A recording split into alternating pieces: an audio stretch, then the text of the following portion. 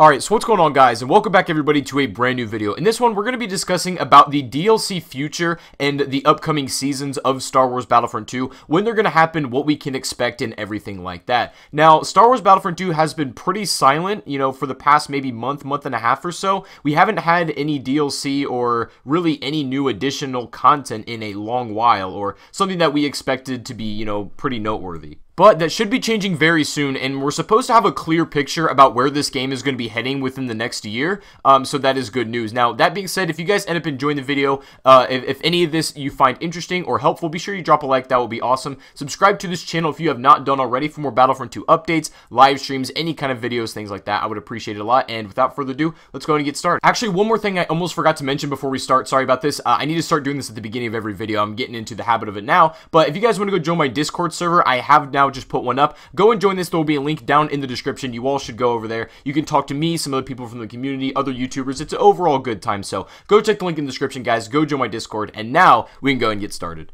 So as I'm sure you all are well aware that EA and DICE have been very quiet and, and just overall not talkative about what they're doing with this game, what we can expect going forward, but right now, the only thing that we really have to go off of is what our big PR guy for uh, Star Wars Battlefront 2, his name is Dennis on Twitter. If you guys don't follow him, I'm sure most of the community doesn't because his Twitter's pretty small and compared to, comparatively speaking to how many people actually play this game, and that's why I need, I feel like I need to sort of make these videos is because not everybody's in the loop about what's really going on with this game. And the way that this game presents information to the overall player base, I don't think is very good. So there's a lot of information floating around that it's either hard to reach or hard to understand, and some of it's not all true. So what I want to really just do is condense everything that you guys need to know uh, and the biggest things going forward.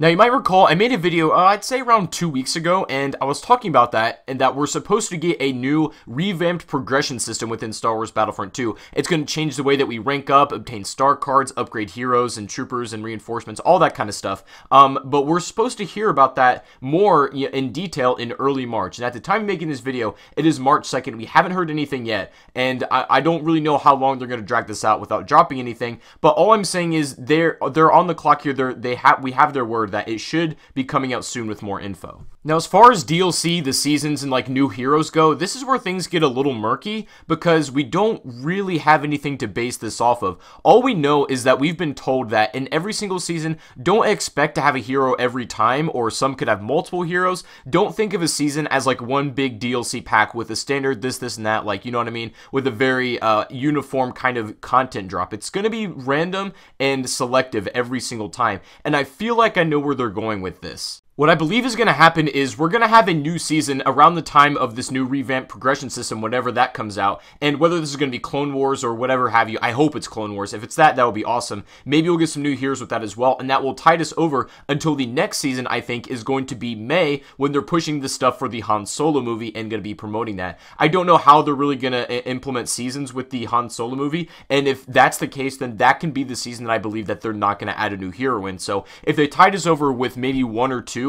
within this month and then wait until May for a new season and then so on and so forth, I could see them doing a, a similar pattern like that. And to further back up this theory, from what we know, we're going to be getting a quote-unquote roadmap of the DLC season and just kind of where things are going to go. We should have like a plan laid out and we know what we can expect in the months going forward. But what what really frustrates me is that we we could have had this so long ago or we should have had this a while ago as well.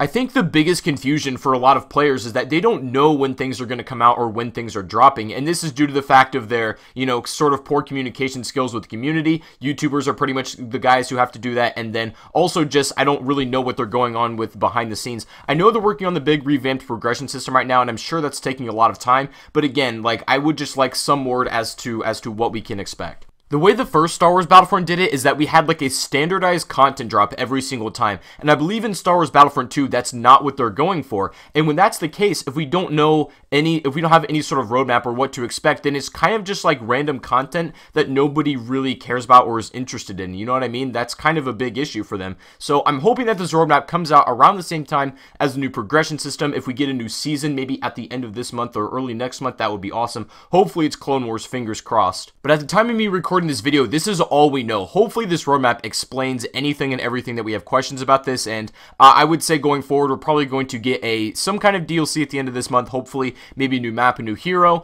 um, and then there's going to be another season around when the Han Solo movie comes out, because you best believe this game is going to be promoting that as well.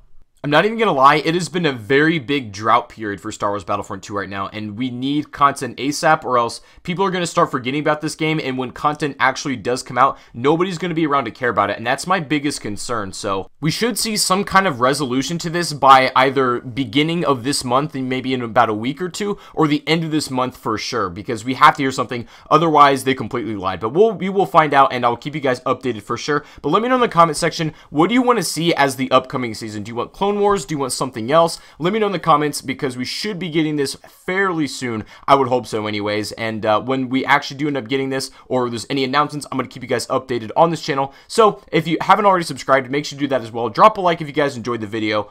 Don't forget to join my Discord server before you leave, guys. The link to that will be down below in the description. But other than that, thank you guys so much for watching. I really do appreciate it. I Hope you all have a fantastic rest of your day, and I will see you all on the next live stream or the next video. Peace out.